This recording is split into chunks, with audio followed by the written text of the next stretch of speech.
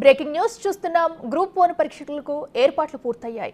ఈ రోజు నుంచి ఇరవై ఏడు వరకు ఈ పరీక్షలు జరగనున్నాయి.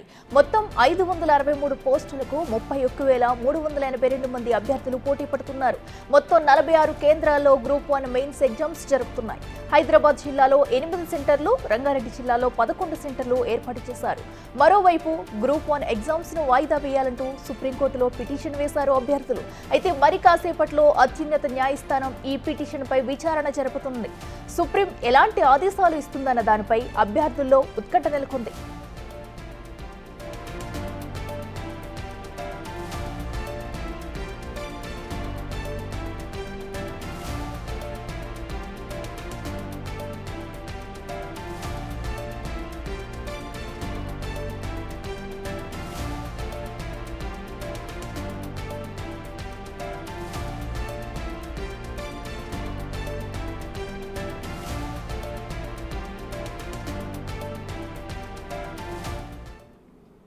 ఇక ఇదే అంశానికి సంబంధించి మరింత సమాచారం మా ప్రతినిధి శివ లైవ్లో అందిస్తారు. శివ చెప్పండి ఈ రోజైతే ఒక పక్క అయితే గ్రూప్ వన్ పరీక్షలు మధ్యాహ్నం ప్రారంభం కాబోతున్నాయి. మరో పక్క ఇదే అంశానికి సంబంధించి కూడా మరి పిటిషన్ వేసినారు సుప్రీంలో అభ్యర్థులు అయితే దీనిపై విచారణ కూడా జరుగుతుంది.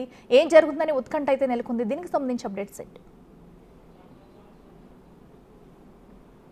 రైట్ అఖిల ఈరోజు సుప్రీం ధర్మాసనంలో తెలంగాణకు సంబంధించిన గ్రూప్ వన్ అభ్యర్థులు దాఖలు చేసిన పిటిషన్పై విచారణ జరగబోతోంది. ఈరోజు మొదటి కేసుగానే దీనిని విచారణకు స్వీకరిస్తున్నట్టుగా అభ్యర్థుల తరపున న్యాయవాది మోహిత్ రావు తెలియజేశారు. ప్రధాన న్యాయమూర్తి ఆ, యశ్వంత్ చంద్రచూడ్ ధర్మాసనం ఈ తెలంగాణ గ్రూప్ వన్ అభ్యర్థులు దాఖలు చేసిన పిటిషన్పై ప్రధానంగా విచారణ జరగబోతోంది. అంటే GO number twenty one nine ప్రకారం కాకుండా జీవో నంబర్ ఫిఫ్టీ ఫైవ్ ప్రకారమే అక్కడ పరీక్షలు నిర్వహించాలి అనేది ప్రధానంగా వారు డిమాండ్ చేస్తున్నారు. దానిలో భాగంగానే తెలంగాణ హైకోర్టు ఇచ్చిన తీర్పును సవాలు చూస్తూ చేస్తూ గత వారం గ్రూప్ వన్ అభ్యర్థులు అంటే గ్రూప్ వన్ అభ్యర్థులకుండా అభ్యర్థుల తరపున పి రాంబాబు అనే గ్రూప్ వన్ అభ్యర్థి పిటిషన్ దాఖలు చేశారు సుప్రీంకోర్టులో. అత్యవసరంగా దీన్ని విచారించాలని కోరిన నేపథ్యంలో అభ్యర్థుల తరపున న్యాయవాది మోహిత్రావు పిటిషన్ దాఖలు చేశారు. చంద్రచూడ్ చీఫ్ జస్టిస్ చంద్రచూడ్ ముందు. అయితే ఈ కేసును నేనే విచారిస్తాను. మొదట మొదటి కేసుగా దీన్ని విచారిస్తామని తెలిపిన నేపథ్యంలో సోమవారానికి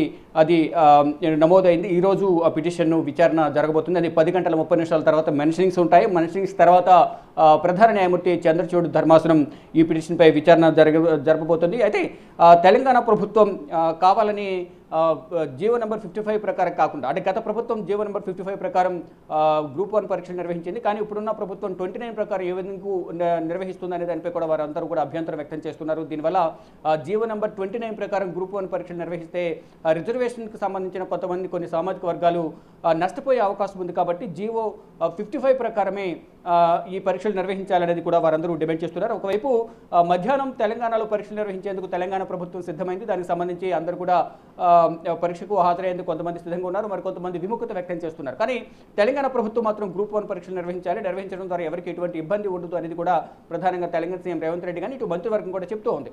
కానీ కొంతమంది ప్రతిపక్షం ప్రతిపక్ష పార్టీల ట్రాప్లో పడి గ్రూప్ వన్ పరీక్షలకు హాజరు కాకుండా జీవితాన్ని నాశనం చేసుకోవద్దు అనేది కూడా ఇటు తెలంగాణ ప్రభుత్వం చెబుతోంది. కానీ ఇటు గ్రూప్ వన్ అభ్యర్థులు మాత్రం మాకు జీవో నెంబర్ ట్వంటీ నైన్ ప్రకారం కాకుండా ఫిఫ్టీ ఫైవ్ ప్రకారం మాత్రమే పరీక్ష నిర్వహించాలనేది ప్రధానంగా వారు చెప్తున్నారు.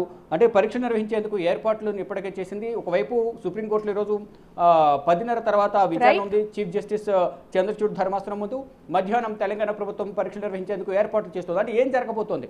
అంటే ఇప్పటికప్పుడు తెలంగాణ ప్రభుత్వం పరీక్ష నిర్వహిస్తుంది కాబట్టి కానీ తెలంగాణ ప్రభుత్వానికి వ్యతిరేకంగా ఇప్పుడు సుప్రీం ధర్మాసనం ఈరోజు ఎటువంటి తీర్పు ఇస్తుంది అనే దానిపై కూడా ఇటు గ్రూప్ వన్ అభ్యర్థులను ఇటు తెలంగాణ ప్రభుత్వం మధ్య ఉత్కంఠ కొనసాగుతుంది. ఇప్పటికే టీజీపీఎస్కి సంబంధించిన చైర్మన్ సుప్రీంకోర్టు కూడా చేరుకున్నట్లుగా సమాచారం అయితే అందుతోంది. Akhila.